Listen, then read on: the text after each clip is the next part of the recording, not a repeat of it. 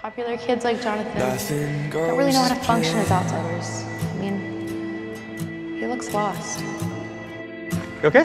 Everything Yeah. break. Yeah, it's just uh, it's just hard. I'm the only one in this house that's completely unarmed. Jonathan, your mother and I will protect you. Really? Yes. Jonathan, Kent! Yes, coach. No, not you. The other one. Have fun being Superman and Superboy or whatever. I'm not like you, and I'm not like Superboy over there, okay? Honestly, I just want to be left alone right now. I know how much you gave up by saying yes to coming here. Your entire identity is there. You just expect me to drop my life for everyone else's? You in the morning. can't do this. You can't do this.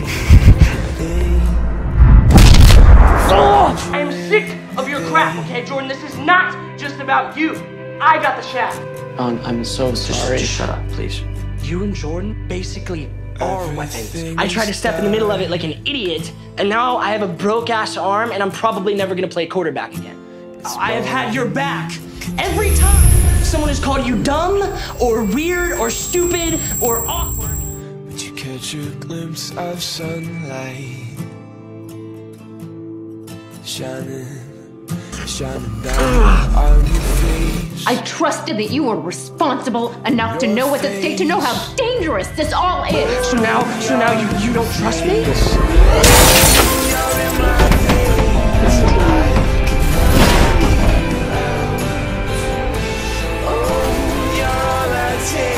You almost died!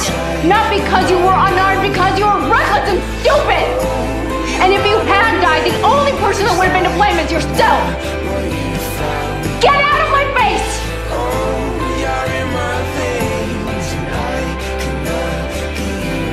You realize that you're pretty much the only person I have here, right? Whatever happened, we're in this together, alright? I was one second away from being dead. And mom couldn't do anything.